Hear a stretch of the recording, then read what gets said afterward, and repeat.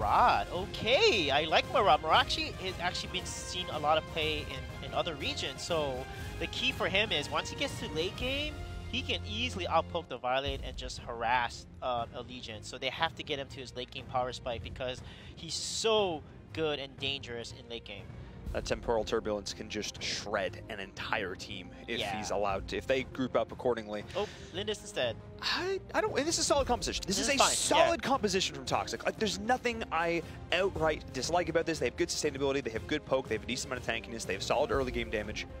But So where my my only issue lies is that side tower or that Dragon Lane tower, and now on the side, MTS is here, body blocking for the team. But look at the way they're able to keep the Dragon there and able to take it was ALG. A kill to follow up. The Exuberance is chasing in. There's the Oh. flicker as well. Basic is in trouble. Can they get the kill? Yes, they do. And Hoon falls to follow. That's the allegiance that we know. That synergy, that shot call. Sleepy taking a dragon. Oh, Rocker, you're gonna fall here, buddy. paint, but it was still incredibly effective because it just goes to show that once you have this sort of pattern set up, it's absolutely uh, beautiful what you can accomplish. And we do have the pickup there onto Hoon to start this off. Rest is surviving through all this. The shock goes on through Allegiance once more, picks up the dragon. And look at the damage from MTS. The heal is forced to pop. Sleepy's going to be the target. The Ryu is there as well. And now Bobo is getting chunked. The Rocker in the flank. And we have KO from the side coming in through the mid as well. And that is going to be four quick kills for Allegiance. Neo make it five. There's yeah, the ace. toxic. We're able to get the kills, but ALG turns it around. Nice rotation KO coming to nick of time. I feel like they need to try and snipe out this dragon right now. Basic's gonna look to Oh! do, and he oh! does. Hey! You called it, Paul. Beautiful play by Basic there. Then they might potentially get this mid tower, actually, but KO is going to come right into time. But he's getting focused on pretty hard right now. The focus is there, but Sleepy with the counter initiation and the exuberance pulling back with the dark dominion as well. Neo is going to be the target, getting oh so low. Sleepy with the pick, but Hoon on the side, nicely done. The shock is there, beautiful. Oh, Oh, getting wow. over the wall, and that is going to be the disengagement from Allegiance. Oh. rest just a second too late right there. And in the mid, Sleepy and MTS taking it Too Toxic. The flank now coming in from Rocker. He oh. does Oh. have the big boy gun on the side, getting two kills. The beautiful flank there from Allegiance. They are getting pressure, value, kills, towers. Pick up these kills easily. And look at that. Bobo Oh, getting Bobo, Dark no. Dominion. He's out. Bobo more No like, flicker. oh no. That was not the time to go in. Up against Amina. What were you thinking? Wow, Oh. Rocker is just going off here, but he did not escape the tower's wrath.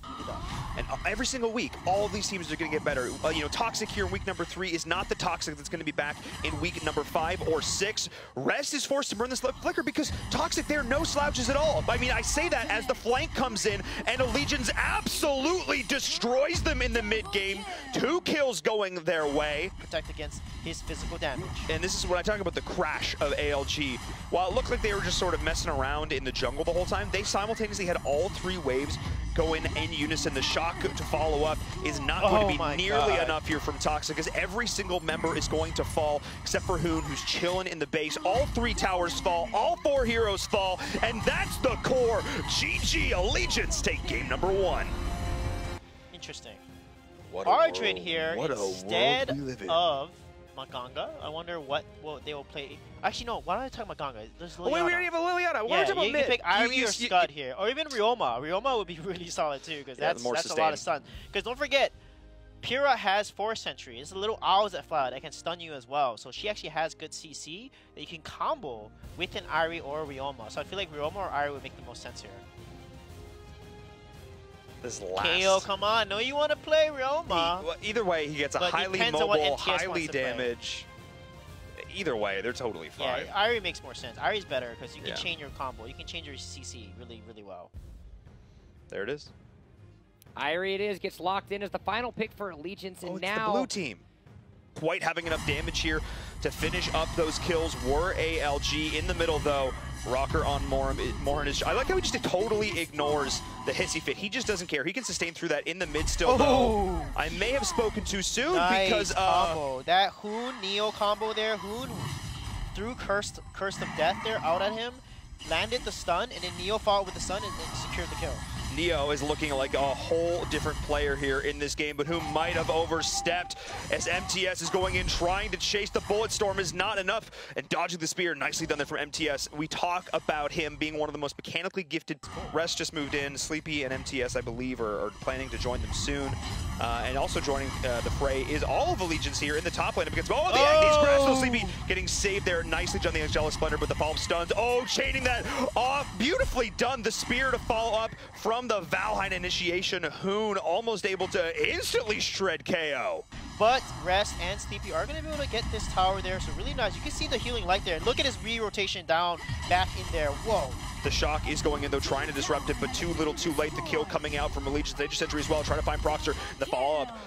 Stun is there. Bobo is marching all the way in, but the Nature's Rally, the Malleus to follow Oh, up. no, so tanky though, but look at the counter initiation, trying to take this with the Hissy Fit, but the heal is forced to be popped. Nature's to see oh, basic. Oh, basic. You did the oh, drill. Oh no! As we just getting caught off right now, that is basic. Actually, not going to fall. He does have the Oh, the additional health, but oh man, just the burst damage from Allegiance coming in right now. Look the at Angelic. Splendor getting canceled. MTS, nice job jumping in there as Airi getting the kill. Look at that Hoon. Oh, he jumps away just in time, but Proxer, you're in trouble. You jumped in with your shock, and now you have no escape, and you're gonna fall as well.